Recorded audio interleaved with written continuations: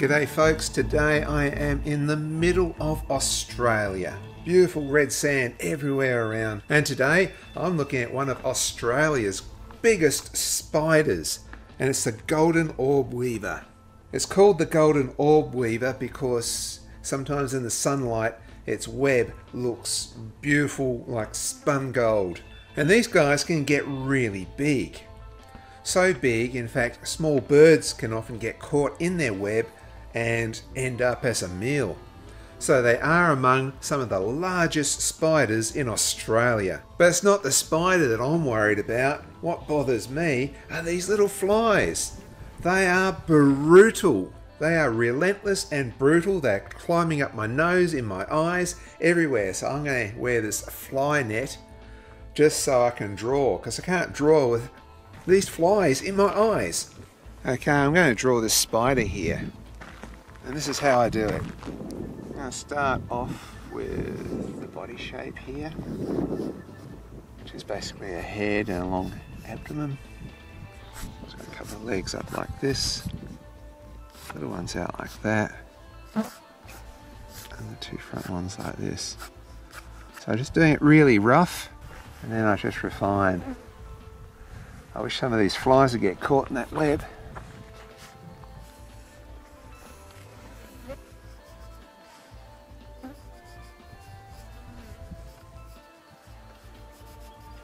So now looking where the light source is coming from, it's coming from this way.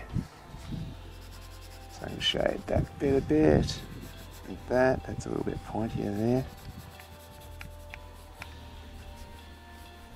And that's how you start giving it a bit of a 3D look.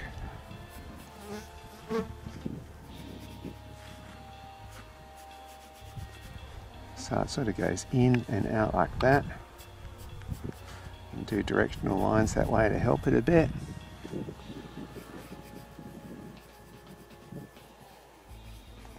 Helps there.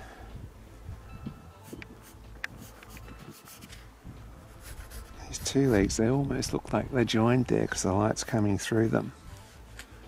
You can see the joint there, long bit there, another joint. Looks so cool. That's going like that. The sun's coming out a bit. There's a cute little leg there. So you see I'm not even doing where I did it. I, am sort of correcting as I go. It's good to have something down. If you get something down, then you can just make little corrections. It's going up like that. Funny joints. She's a pretty girl. Now she's got some pattern on her too, so gently shading it a bit there, a little bit of pattern there, darken a bit in here, shadow coming off those legs there. Now one of the ways, this is a little trick you can do, even though the light's coming that way, can leave a little bit of light there. So we have here, dark bit there, that's what you call the terminator zone. There you go, a highlight here. So I'm going to shade in around there, leave a little highlight. Have the terminator zone, and then just have a little bit of reflected light there. Even though there's not reflected light there, I'm cheating and putting it there anyway to make it look a little bit more 3D. That's a little art hack for you. So just to finish off, we're just putting in this other leg here.